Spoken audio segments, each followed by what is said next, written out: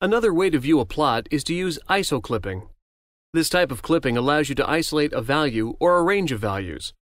To activate ISO clipping, I'll right click on a plot, stress 1 in this case, and select ISO clipping. This brings up the ISO clipping property manager. What I'd like to do is display only the values above 300 megapascals. Notice I can't change the units here. These units are the same as those used for the stress plot itself.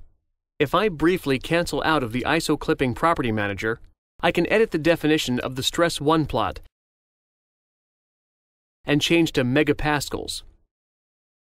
Now I can once again access the ISO clipping property manager and type in 300 with the units already set to megapascals.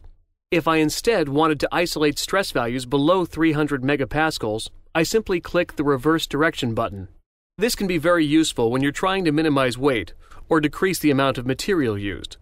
By isolating regions of very low stress, you can learn where material can be eliminated without affecting the structural integrity of the part.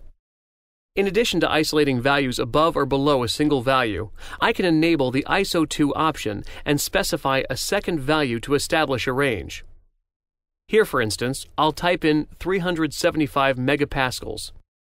Now all values between 300 and 375 megapascals are shown. The legend also indicates the upper and lower limits of this clipping, making it easier to see how my range relates to the yield strength of the material. As with section clipping, I can continue to add as many ISO values as I wish to further isolate specific stress values. Once I click OK, the stress plot will only show the isolated values. Since we're looking at values between 300 and 375 megapascals, I can modify my legend to provide better visualization of these stress levels. By default, CosmosWorks adjusts the legend to go from the minimum stress to the maximum stress. I want to adjust this scale to go from 300 to 375 megapascals. To do this, I'll right click the Stress 1 plot and select Chart Options. Here, I can control the appearance of the chart, including the range to be displayed. I'll change the automatic setting to defined and type in 300 megapascals for the minimum and 375 for the maximum.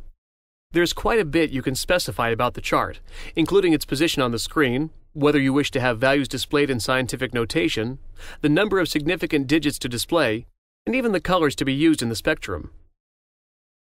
Now, the stress region is shown across a broad spectrum of colors, making it more informative than the earlier plot where I was only seeing two colors.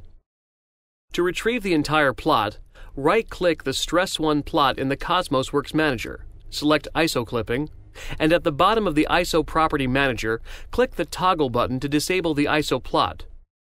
When I click OK, the full von Mises stress plot returns.